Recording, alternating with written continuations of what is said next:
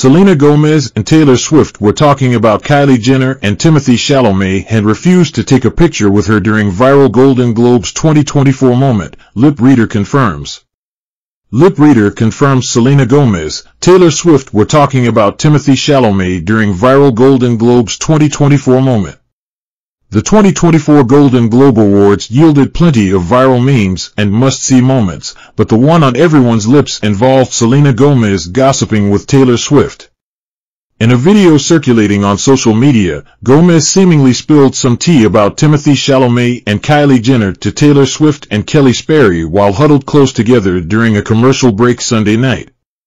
Internet sleuths quickly pointed out that Gomez appeared to tell the BFFs that Chalamet had refused to take a picture with her, which lip-reading expert Jeremy Freeman agrees with. Freeman deciphered the hush-hush conversation for page 6 exclusively, claiming Gomez went up to Swift and Sperry and said, he didn't want a picture with me.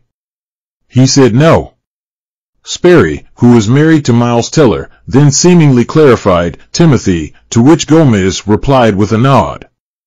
While Swift's jaw dropped at the confession, it is unclear what the Cruel Summer singer, 34, replied as she leaned in to whisper in Gomez's ear. However, a source close to the calm-down singer denies the claim, telling us that Gomez, 31, was not talking about the loved-up couple. The insider insists Gomez never saw or spoke to Chalamet, 28, and never went up to them and asked for a photo.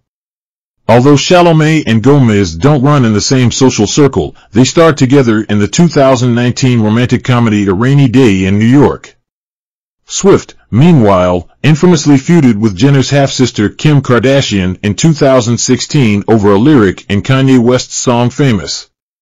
Despite the speculation about her private conversation, Gomez, who was nominated for Best Actress in a television series musical or comedy for Only Murders in the Building, seemed to have a great time at Sunday's star-studded event alongside her gal pals and co-stars.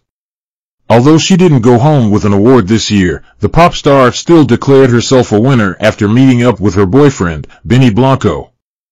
Gomez posted a photo of herself kissing the music producer, 35, to her Instagram story following the show. I won, she captioned the cheeky snap, which seemed to be taken in a closet or backroom. Gomez and Blanco weren't the only ones who turned the awards show into a date night, though. Jenner, 26, and Chalamet looked every bit in love as they sat side by side during the ceremony. The pair, who was first romantically linked in April 2023, were caught having an intimate conversation during a commercial break while sitting just inches away from each other with their fingers intertwined. At one point, the Kylie Cosmetics founder was seen lovingly stroking the Wonka actor's chest before he leaned in to give her a kiss. Freeman also decoded their flirty banter for us, revealing there was some I love yous exchanged. Although they didn't walk the red carpet together, the couple were also seen cozying up backstage during Jo Koy's highly talked about monologue.